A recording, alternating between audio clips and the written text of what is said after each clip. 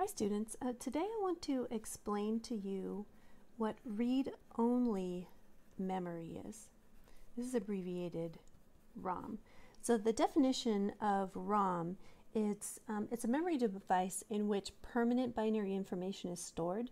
So the information is going to get burned onto this device and it's going to stay on there even after we've done a power cycle, even after um, the device has been turned on and off, this is going to stay on there.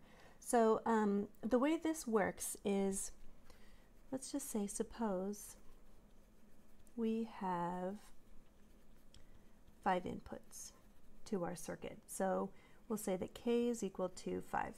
Um, then 2 to the k is 2 to the fifth. This is 32. So this implies that we can have 0 to 31 encoded in binary.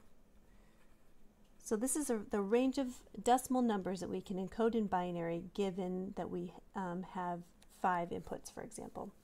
So then um, the first layer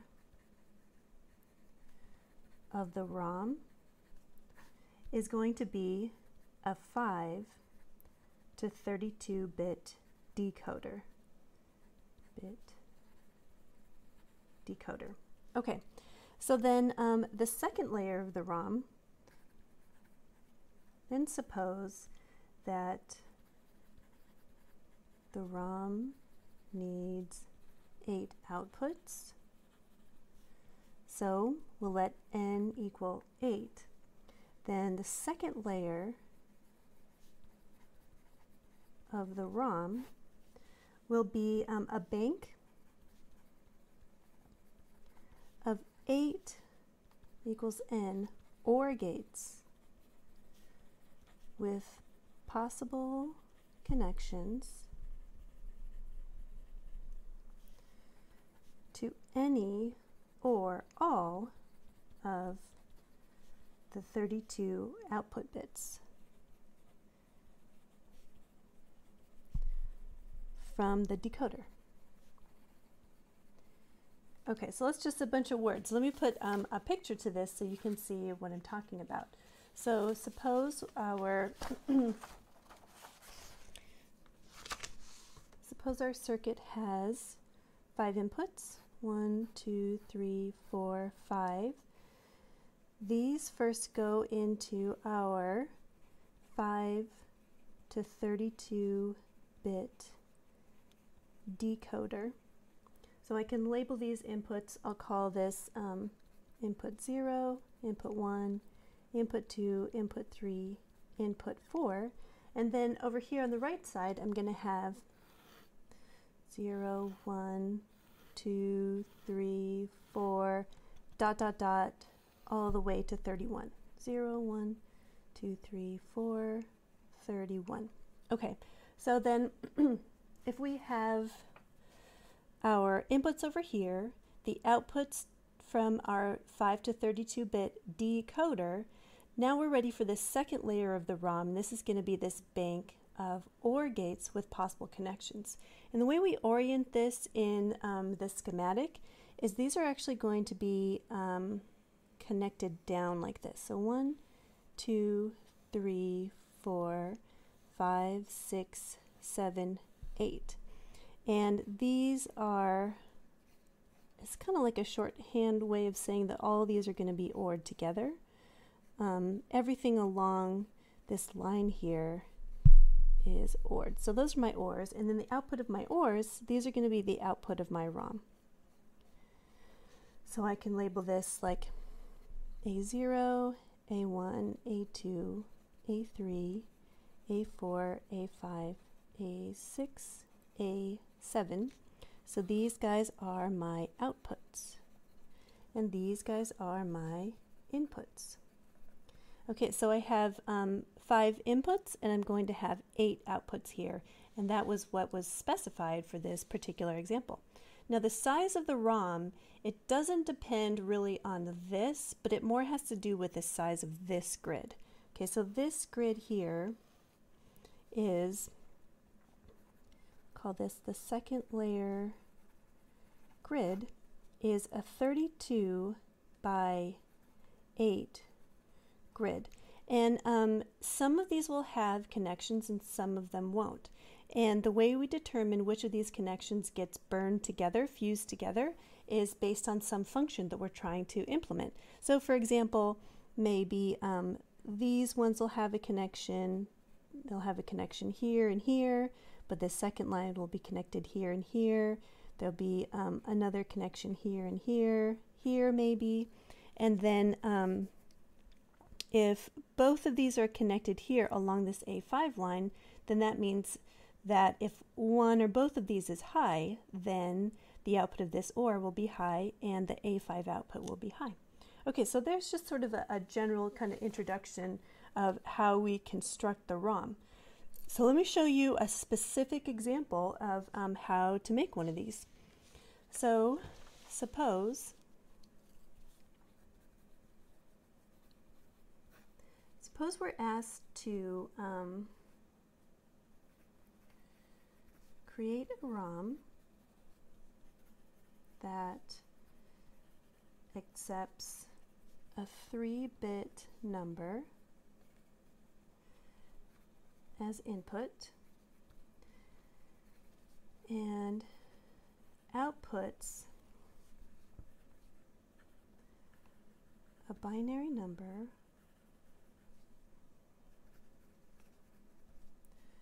that's equal to the input squared. Okay, so this function that we're going to be implementing here is the square function. So let's first start by making a truth table and try to make sense um, of what they're asking us to do here. So we know we have um, three bit number as our input. So we're going to have three bits of input. I'll label those I2, I1, I0. So these are going to be my inputs. Possibilities, if I scroll through them all, 000, 001, 010, 011, 100, 101, 110, and 111. Okay, so um, what is the decimal equivalent of this number? This is 0, 1, 2, 3, 4, 5, 6, 7, right? So if we wanted to take this input, this is the decimal input but what we're actually giving our circuit is the binary equivalent, and we want to square that, then that means that this is our squared column. 0 squared is 0, 1 squared is 1, 2 squared is 4. This will be 9, 16, 25, 36, and 49. Okay, so um, these over here are our inputs, and over here, this is what we want our output to be. So if this is the decimal output that we want, but our output is going to be um, a binary number, then we need to basically encode all of these into binary. So um, the way we figure out how many bits of output we're going to need in order to have enough storage containers to reach 49 is um, we can do this. So say to figure out how many output bits we need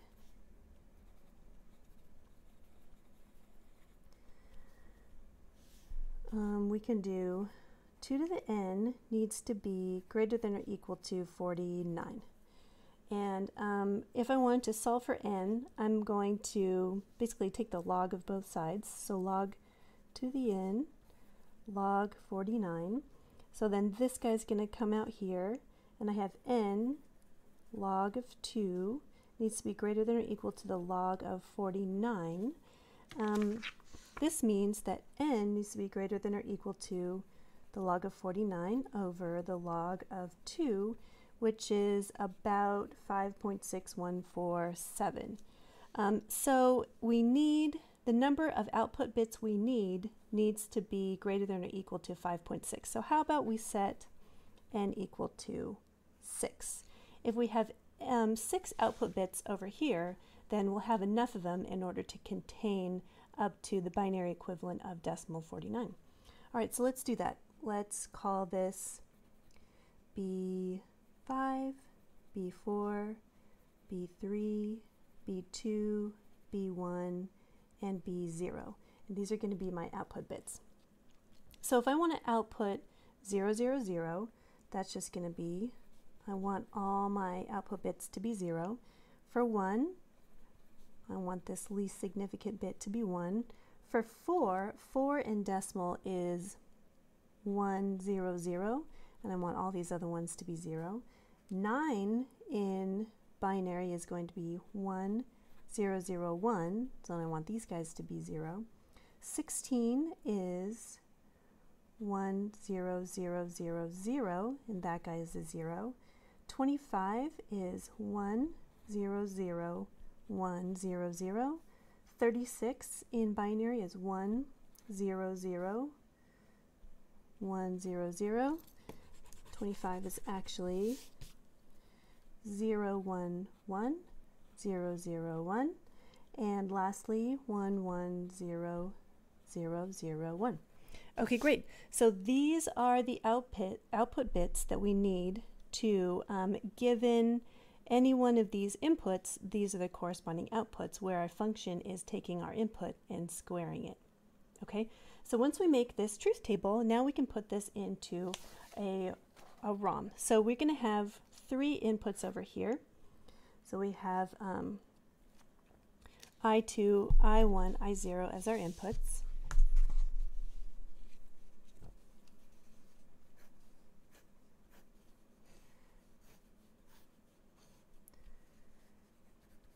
I0, I1, I2, those are our inputs. Um, this is going to be, um, if I have three inputs over here, and over here I need six outputs, then that means this is going to be a um, 2 to the third by 6. So this is an 8 by 6. Um, I should put this out of here because this is actually, this first layer is a 3 to 6 decoder. But then the second level, one, two, three, four,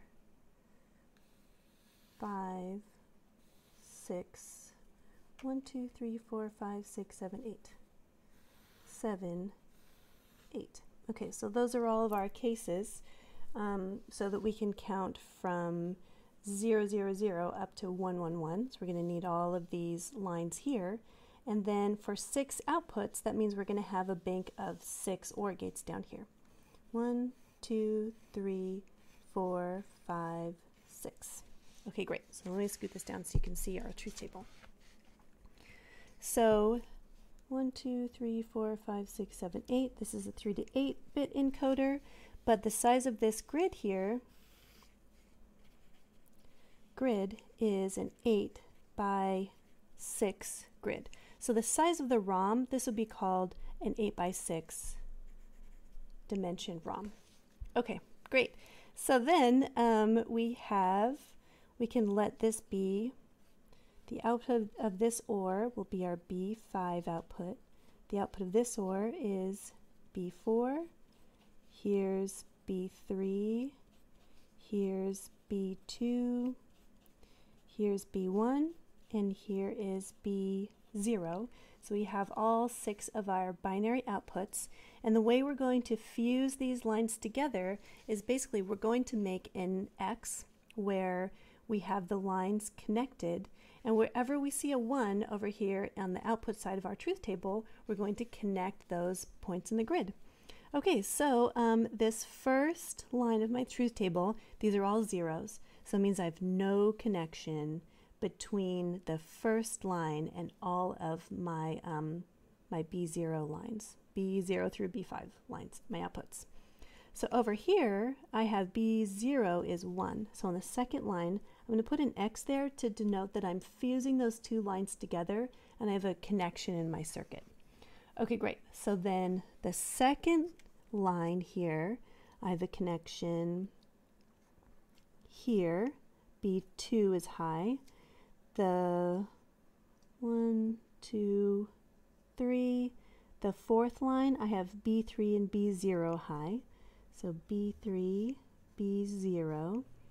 The fifth line, I have B4 is high, and that's it.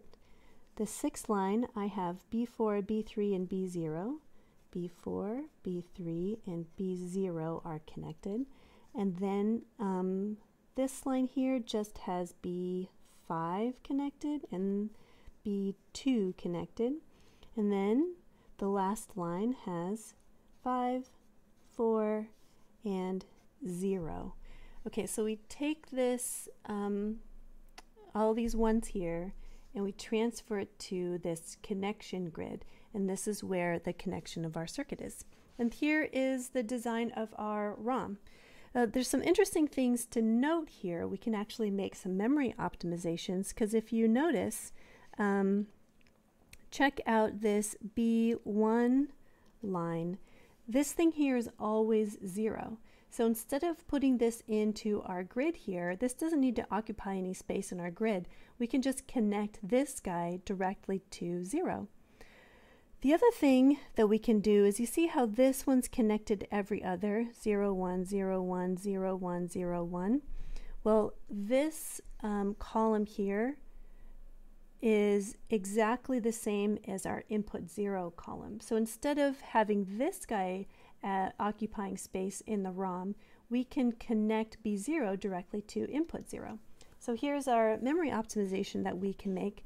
We can do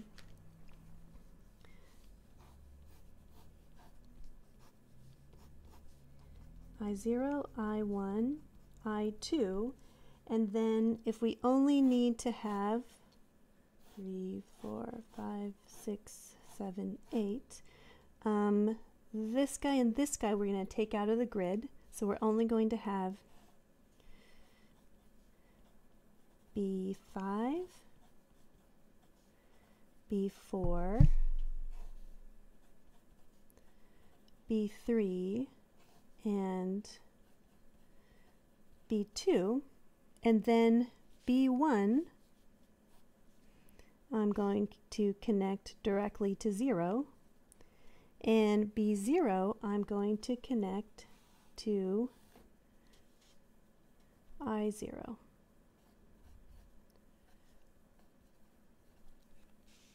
There we go.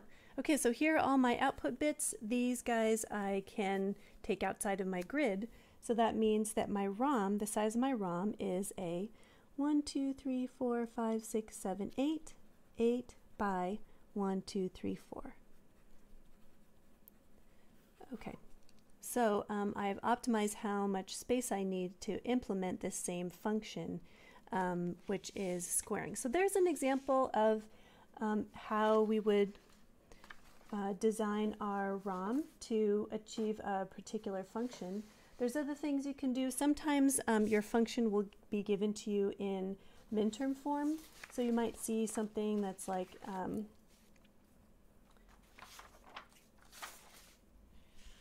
maybe you'll see that A0, A1, A2 is a function of our inputs, A, um, I2, I1, I0, and it's the sum of minterms um, 0, 1, 3, dot, dot, dot. Um, this guy has the same inputs, and that's going to be a sum of minterms um, 2 and 4, you know. That's just an example. Okay, so you, you might see these guys in minterm form like that, and if you do, then um, you can create your truth table from there and then do the same thing, make your grid. And yeah, that's about it. Let me know if you have any questions about how to determine how many outputs you're going to need and also making the truth table and um, burning that into your ROM and writing this schematic here. Okay,